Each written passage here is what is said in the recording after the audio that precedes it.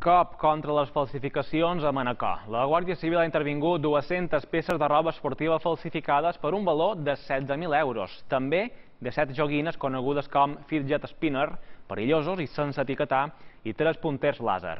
És el resultat de dues operacions duites a terme a Calamandia. Com a resultat de les dues inspeccions, s'investiga una persona per un suposat delicte contra la propietat industrial.